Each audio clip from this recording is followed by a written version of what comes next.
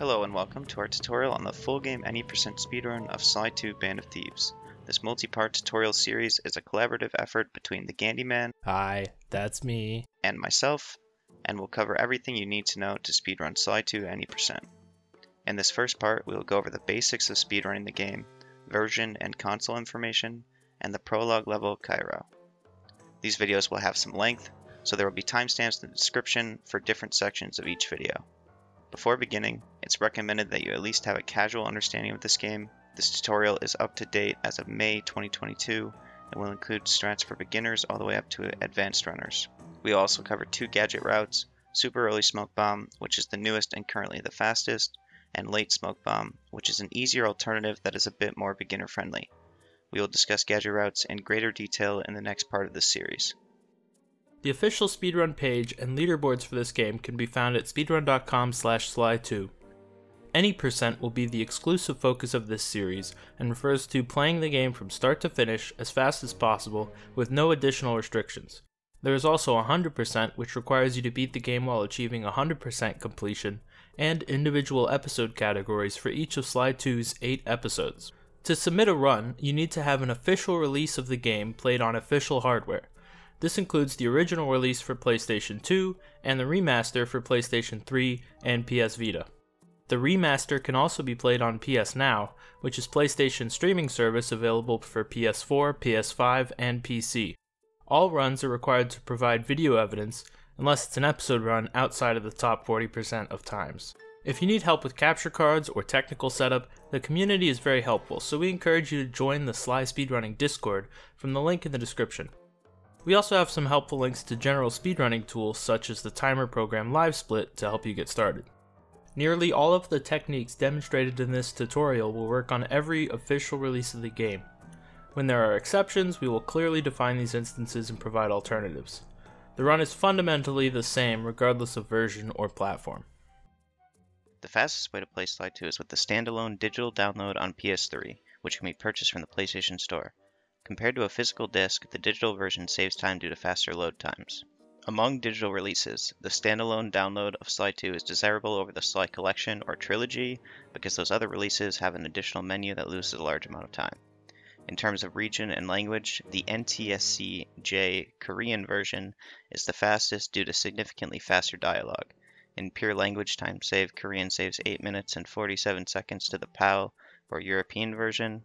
Outside of the NTSC-J releases, game language matters minimally, but the NTSC-U or North American version saves a large amount of time back due to something called health and safety skip, which is exclusive to that version and restricts the game to English. So Korean instead saves 4 minutes and 56 seconds to NTSC-U with English. Here you can see how Korean's time save is broken down throughout the run in comparison to PAL and NTSC-U.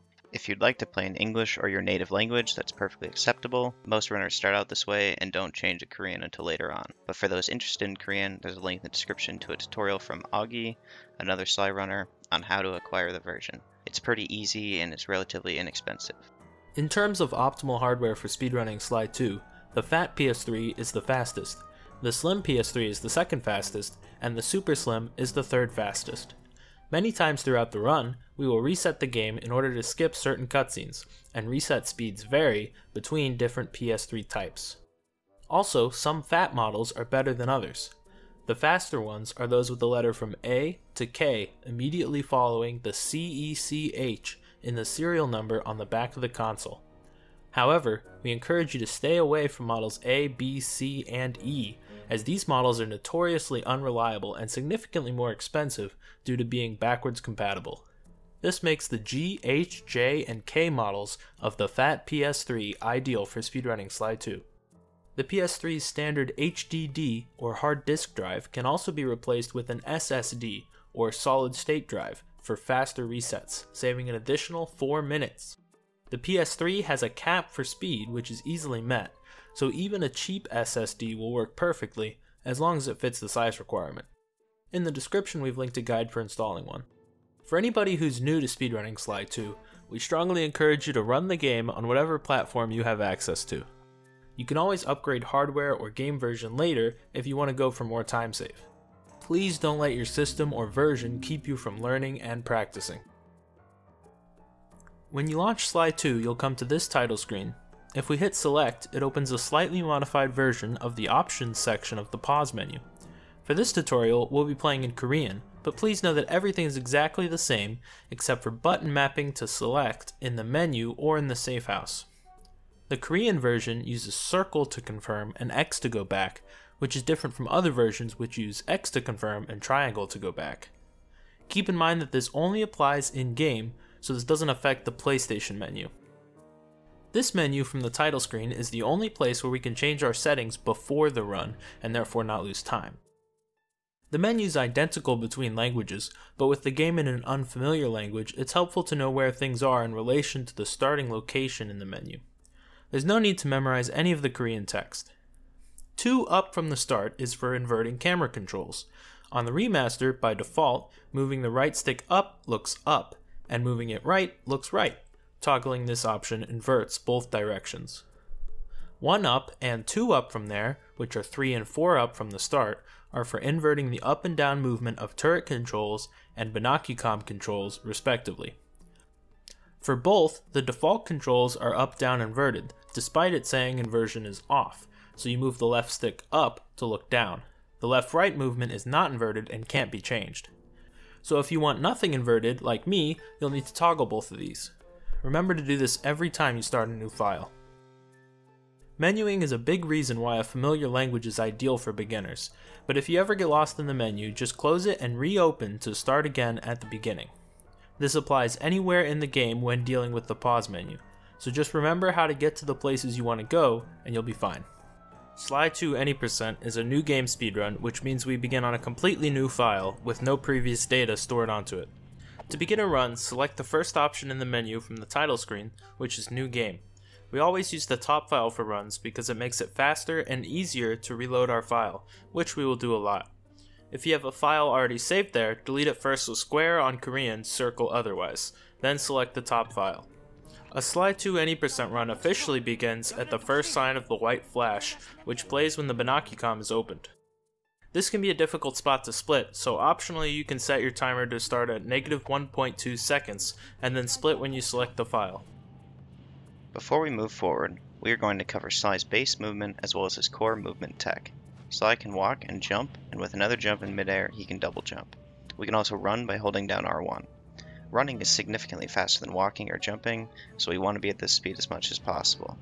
Thankfully, we have a piece of movement tech called square boosting, which allows us to carry Sly's horizontal momentum into a jump. So instead of jumping normally, where we immediately lose our speed, we can lunge forward at running speed with a square boost and keep our momentum for the length of the cane swipe animation. Square boosting is performed by pressing square and X on the same frame. Since Sly 2 runs at 60 frames per second, this means you have to hit square and X within the same 60th of a second. In simple terms, both buttons must be pressed at the exact same time.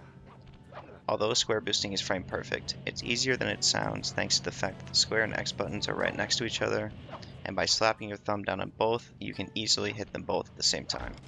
It's not recommended to use any other methods of square boosting, such as using two fingers, as it will make it much harder than it needs to be. Increasing your success rate with square boosting just comes from practice. I personally find myself missing them when I let my hand or thumb get too relaxed. If Sly ever does a sideways cane swing, that means you hit square before X, and if he does what looks like a square boost, but you don't keep your running speed, then that means you hit square after X. Once we've square boosted, we can't do a second jump until we've landed, we also can't change the direction we're facing or have any way to stop until the end of the cane swipe. So Sly's facing angle at the start of a square boost is very important. Square boosting always grants a consistent height, but the distance covered in a single square boost depends on Sly's speed. This extreme example illustrates that pretty well. A cane swipe immediately after a square boost preserves the momentum for longer, but with normal running speed square boosts, we generally only do this when needing to go downwards, like off a roof. In that situation, square is doubly useful, as each time Sly does a cane swipe in midair, his falling speed will increase. So generally speaking, to fall quickly as Sly, we can just spam square all the way to the ground. Another piece of movement tech is what's called the glitch high jump. When you hold square as Sly will enter this charge animation for his charge attack or spin attack. Due to a developer oversight, this works even when Sly is midair. and when the charge attack animation begins, the game grants Sly fake ground for a brief moment. We can abuse this to get an extra jump.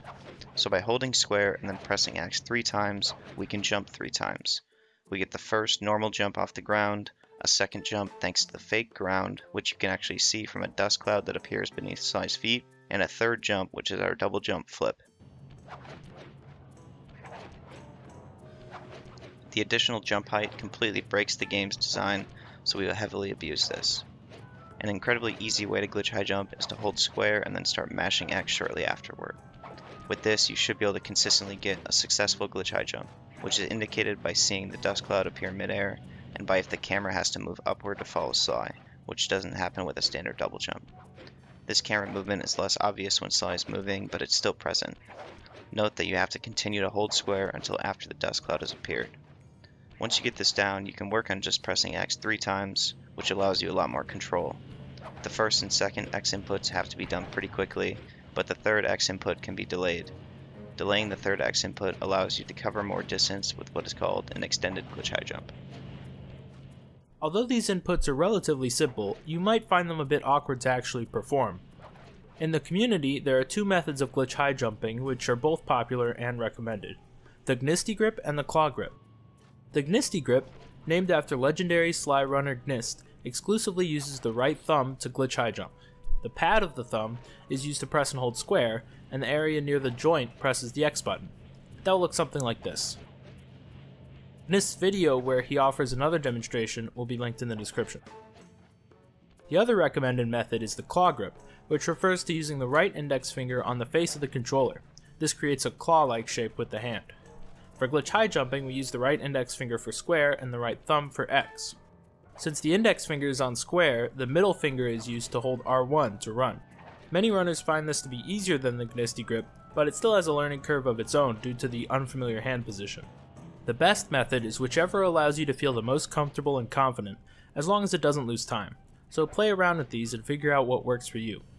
And just as a reminder, for square boosting, you want to exclusively use your thumb, even if you're using claw grip for glitch high jumping. Now it's time to play the prologue level Cairo, one of the most movement intensive segments in the entire game. This segment features a series of difficult skips that are heavily reliant on your mastery of Sly's movement, and which collectively save over 4 minutes. This massive time save makes these skips essential. If you're a completely new runner to Sly 2, it's recommended to skip learning Cairo for now. Move on to episode 1 or beyond and come back whenever you feel comfortable. It's not impossible to start with Cairo, both of us did, but it's far from efficient and it will very likely be more frustrating. From this point on in the video, any techniques we teach will be revisited if they come up in later parts, so you won't miss anything by choosing to delay Cairo. From the Binocucom cutscene which begins the game, hold upright and run to this tree at the top of the staircase. Optimally, you would square boost on the left side of this tree, landing right about here, but single jumping onto it is just fine. To land in the correct spot on the tree's base, you'd want to begin your square boost just after reaching the very top of the staircase. From the tree, we will begin Bentley Skip. We want a glitch high jump onto one of several available areas which are located on this door and the surrounding wall. Basically, there's geometry along this line on which Sly is able to briefly ground which allows us to do a normal jump if we do so immediately. After jumping off of the wall or door frame, we can double jump to grab the ledge just beneath the ceiling.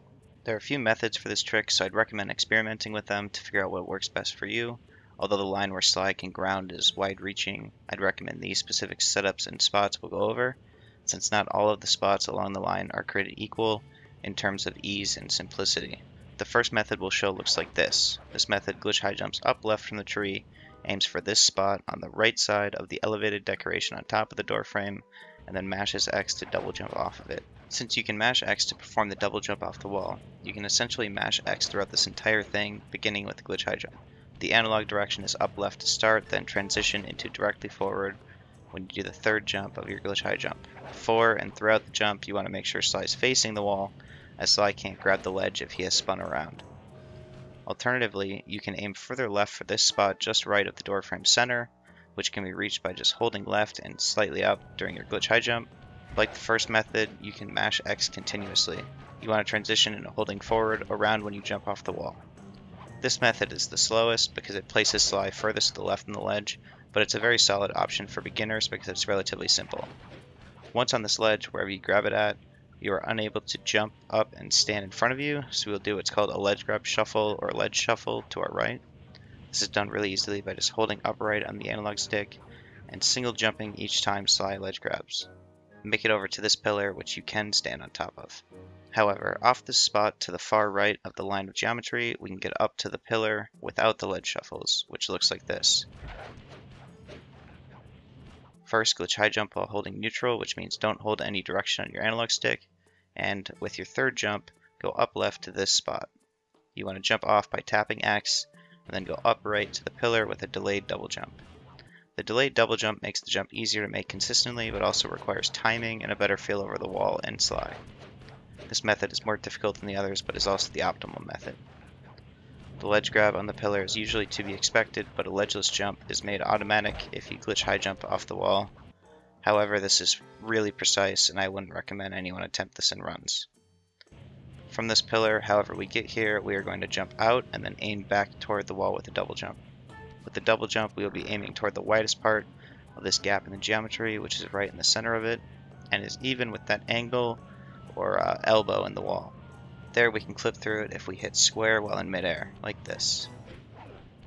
This places us completely out of bounds on an invisible platform. Then, if we want, for practice, we can just jump back in easily through the same gap. For beginners, you want to be careful to not bonk off the ceiling, as this can cut Sly's momentum and cause you to fall. I'd recommend jumping out in the open air toward the center of the room at a wider angle. If you're looking for a visual indicator, you can aim at the rightmost part of this banner rod. Then, while midair, double jump and immediately change the direction on your left stick, aiming for the gap beyond the elbow. Then hit square before making it there. Out, in, swing. Out, in, swing. This should be a downwards cane swipe, so if you see a sideways one, it means Sly landed before you hit square. If Sly's cane is hitting the wall and you're rolling off, you're either hitting square too early or going too far with your single jump before double jumping. This clip is not very precise and there's a lot of subtle variations to input timing and angle that will work.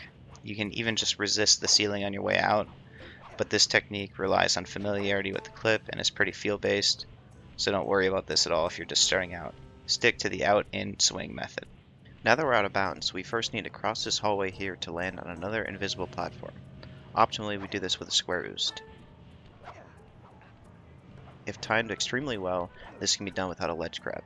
If you aren't comfortable with square boosting, an extended glitch high jump also works. If we fall into this hallway, just go over here in the corner and glitch high jump up to the pillar and hop back up. Once beyond the hallway, continue to here where there is an invisible wall, which we can glitch high jump up to, like this you can see a visible portion of the same wall over here. You want to begin your glitch high jump immediately after you encounter the invisible collision, which makes it possible to complete the jump without a ledge grab if you time it well. Alternatively, you can also square boost to the right here onto some invisible geometry, and then square boost up left onto the wall. This method is even with the ledgeless glitch high jump, but also relies on your comfort with the invisible geometry. Once on top of the invisible wall, the game renders in the next section of the map, and from here just run a few steps and square boost and then spam circle. Note that the collision on the wall doesn't fully line up with the visuals in this pillar that we see. Now let's look at all of Bentley Skip in one motion.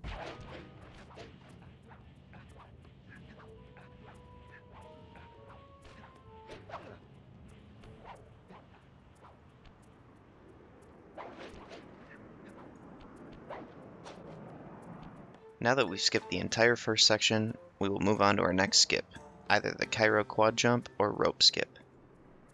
The quad jump, which is the faster option, looks like this. This is a variation on the glitch high jump, which adds a circle input between the second X input and the appearance of the dust cloud. After pressing square to hold it, we have 23 frames to press X, X, and circle, which is just over a third of a second. The circle input attaches to the rope, which gives him a small amount of additional height as part of his thief move animation and it's then cancelled by the charge attack, which is signaled by the dust cloud. When Sly does a charge attack while on a rope, he will immediately detach.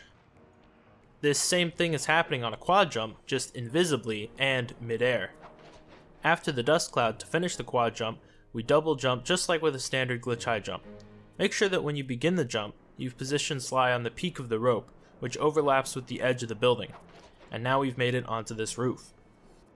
If you're struggling with quad jumping, which is really normal for newer runners. The alternative strat would be rope skip. We'll pass the quad jump spot and hold down square to charge attack off the rope so we don't have to jump from it. Then move on to the next rope. Square boosting onto this rope is really awkward, so just jump onto it. We're going to go to where the middle pigeon is standing, and then from there, we're going to glitch high jump to the right and cut back to the left, with the intention of immediately jumping off of the far side of that overhang above the window. We can do that by spamming X off of the overhang. This is similar to the door or wall from earlier, where we can't stand on the overhang, but we can jump from it. Since the pigeons fly away, you can also use the frontmost part of this front window as an indicator for where to glitch high jump, but this can be a bit weird with the perspective. If you're consistently failing this more than once each time, you'd be losing time to just going the casual way, so keep this in mind if you can't do the quad jump and are doing this route. If we've done quad jump or rope skip, we're now on the roof. If you're coming from the quad jump, be sure to run around this gap to the left, and then square boost onto the next roof. If coming from rope skip, the optimal line of movement is different, but we also just square boost onto this next roof. On the second roof, you'll notice that it has a downward slope. When doing a midair cane swipe onto a slope, you'll notice Sly slides down the slope if the cane animation is still ongoing when he tries to land. An optimization exists which abuses this, and can cause Sly to slide off the roof with extra momentum, like this. Then attach to the rope. This is affectionately known as an ass slide, and is performed by square boosting after landing on the roof and then hitting square midair. If done correctly, the cane animation is still ongoing when Sly is completely off the roof, which means we still have our speed. Even more so than with standard square boosts, angle matters a lot here, as you want to be careful to not end up sliding off to the left. Alternatively, in place of the slide, you can just square boost off the roof and attach. The slide is a minor optimization, so don't stress about it. From this rope, charge attack to detach once we're over the balcony. Normally when you enter this room, Murray will spawn and a cutscene will play where he thunderflops through the ceiling. However, Sly 2 utilizes what are called chain triggers, so in the vast majority of cases, a trigger does not activate until the previous one has been completed. Basically, you need to do step A before you can do step B. In this case, you need to see the first cutscene where Bentley comes up the elevator in order to see any of the ones afterward. This also means that once you do one skip in Cairo, you have to do all of them after that point, since we're no longer able to progress in the normal way. So, to skip the Murray section, first get on this railing, either with a square boost or a single jump, and then stand even with the plant. Then do a curved glitch high jump, first to the left of this pillar, and then to the right to ledge grab just past the corner of the structure. Since the developers don't know that it's possible to get up here, the upper structure of the pillar is fake, and we can just ledge grab and then get on top. I personally find this method to be way easier than the other option, and it's also a little bit faster, but there are some people who might prefer the other way, which looks like this. Stand even with the plant, and then do a neutral glitch high jump, and then hold forward with your third jump to ledge grab the opposite corner. One advantage of this method is that you won't take damage for missing it, like you do with the other option. Sly takes very minimal damage in Cairo, but for speedrunners it's also very hard, so keep that in mind if you're worried about dying. Once we're on top of this pillar, glitch high jump from the left side up to the roof.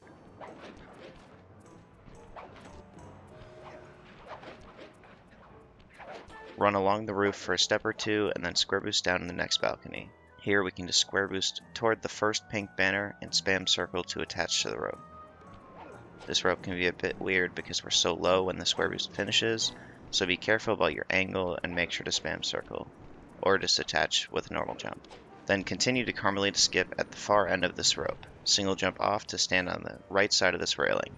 This unique place in Cairo where it is better to jump off of the rope rather than to hold square. Then from this railing, about even with the angle we see on the railing here, glitch high jump onto this next pillar. Do another glitch high jump to end up on the roof. At the top, Sly can occasionally get stuck in some geometry, so if that happens, just single jump or double jump to free yourself, and you should be fine. Then run straight through the corner of the skylight, aiming just to the right of the dark blue wall in the background. This roof is completely solid, even the invisible parts, but the stuff on top of it isn't, so we can just ignore it. As we approach the blue wall, we have to be aware of the geometry, because if we step off this platform, there's nothing but void beneath. In the void, you fall infinitely, and we'll have to reload the file or reset the run. Although the visible part of this blue wall stops here, it extends further, which you can see if you turn the camera like this. Part of the wall also extends upwards invisibly, which you can see if I push Sly against it. So we're standing on this, and we want to get to a narrow, invisible walkway which runs along this hallway. But there's a gap between us and that walkway, so we have to jump. In our jump, we have to be careful to not bonk on the invisible wall to our left. Rubbing a bit against it is fine, and it can actually help guide you a little bit if you're careful, and also make sure you jump early enough so that you don't just run off the side of the starting platform. Start a few steps to the right of the visible blue wall, and aim to the right of the support beam that runs along the ceiling of the hallway. This diagram is meant to help illustrate the invisible geometry and the spot we're aiming for, and glitch high jump. A glitch high jump is not required to make this jump, a square boost can also make it, or a double jump, but it's highly recommended to glitch high jump, or even do an extended glitch high jump as it makes it a lot easier and gives you more opportunity to correct yourself in midair if necessary. Generally, even top runners will glitch high jump this. After landing on the walkway, we're going to run forward, but the direction needed on the analog stick will change as we move. This is because the game is trying to do the scripted camera angle from the Carmelita chase in the museum, but it's struggling because we aren't where we're supposed to be. When the camera is wonky, we don't have any control over it. Also, this walkway is not very wide, so we can easily slip off into the infinite void. Along the side of the hallway, there is another invisible wall which we can kind of hug to help guide us forward. Further down the hallway, there's another gap which we have to jump across. This gap is invisible and the camera's not going to be nice anyways, so we use these ribs in the hallway ceilings to keep track of where we are and where the gap is. If the rib we land beside is number 1, then the gap is halfway between 5 and 6. 1, 2, 3, 4. Now I'm going to stop and inch slide forward to show you where the gap is. You can see here that Sly is in a tiptoe animation. If I glitch high jump forward from here, I land on ground again. But if we jump short or don't jump at all, we'll fall forever. Optimally, you run along the walkway and surrender to the camera and time your jump using the ribs. Remember that the gap is halfway between rib 5 and 6, and we start with the one that we land beside. Optimally, the gap can be cleared with a square boost. Square boosting this gap is easier than with the previous jump, but if you miss your square boost, you will usually void, so feel free to glitch high jump on this one as well. Since the camera is so weird, we use the hallway to indicate our angle and which direction we need to hold, as it changes fluidly and can also vary slightly from subtle variations in movement. Generally, you just have to get comfortable with this through repetition.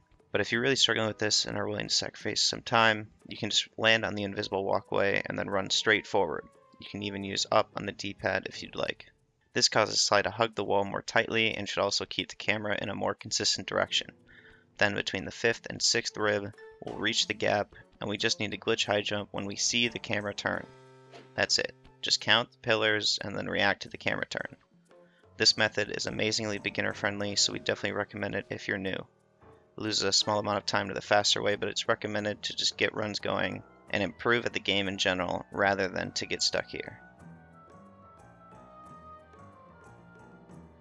If you void in a run, you should just reset the run completely, but if you're in a marathon setting and can't reset, you should save to the top slot and then load the file.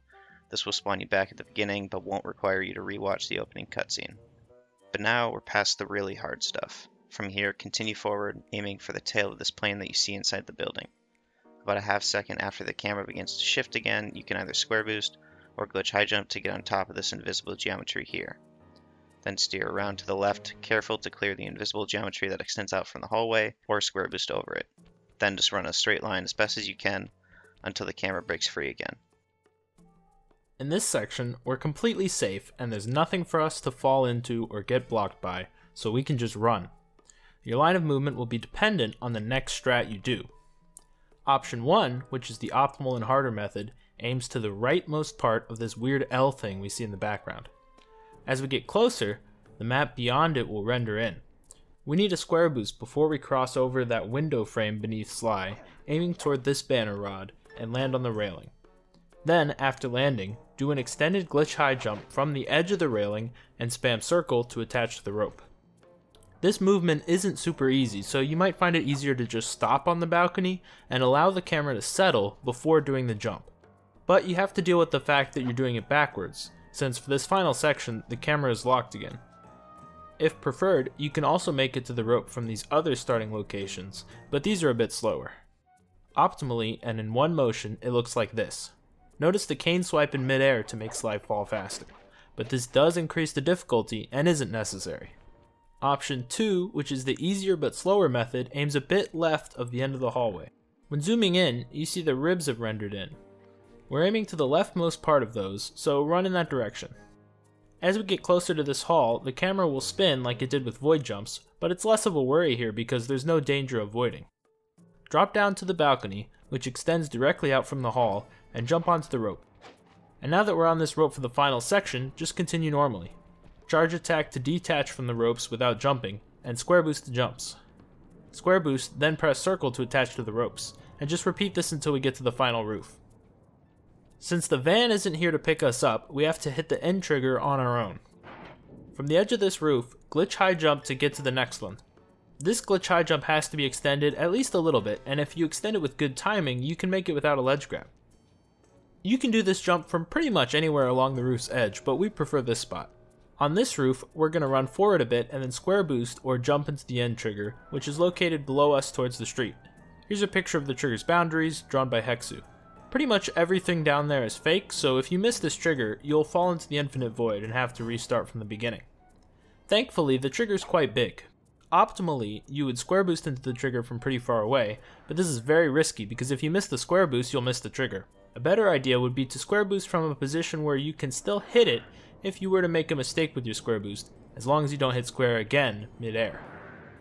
For beginners or pretty much anybody who wants to do this safely, we recommend just running upright off this furthest part of the roof. Continue to hold upright and spam square until you hit the trigger. With this method, you should be able to fall into the trigger consistently.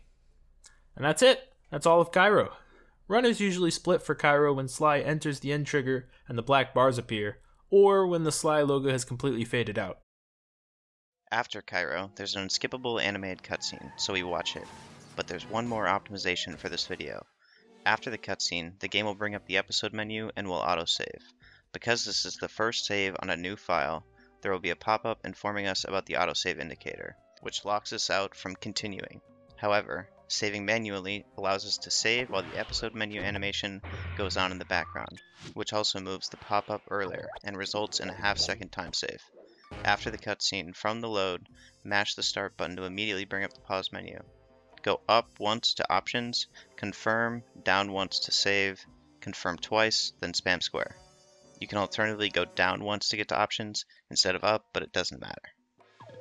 And now we're free to move on to episode 1, which we will do in the next part of this series. Thank you so much for watching. We encourage you to join the Sly Speedrunning Discord from the link in the description, where you can direct any questions you might have and find additional resources for speedrunning the Sly Cooper series.